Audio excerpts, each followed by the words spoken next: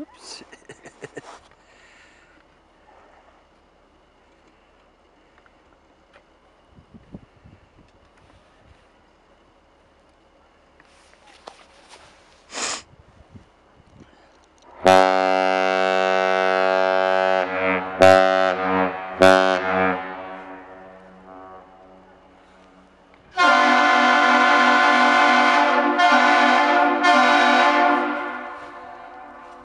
the K.E. Barker departing Duluth on Saturday, April 13th, 2013.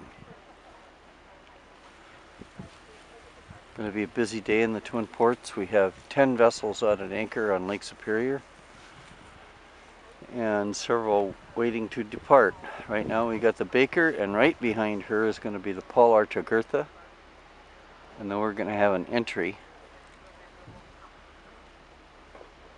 after that.